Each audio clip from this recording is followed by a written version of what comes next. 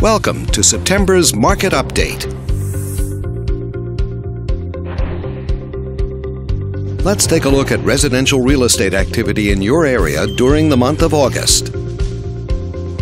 The number of active listings was down 25% from one year earlier and down 11% from the previous month.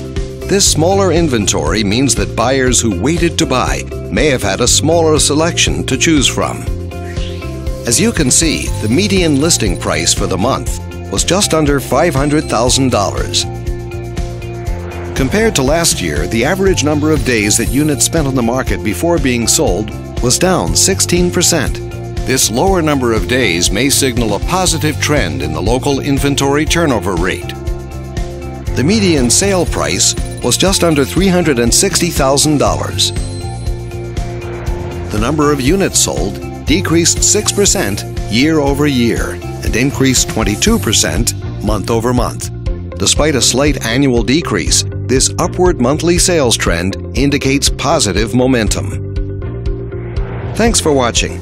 We hope you use this information to make smart, informed decisions in your upcoming real estate transactions.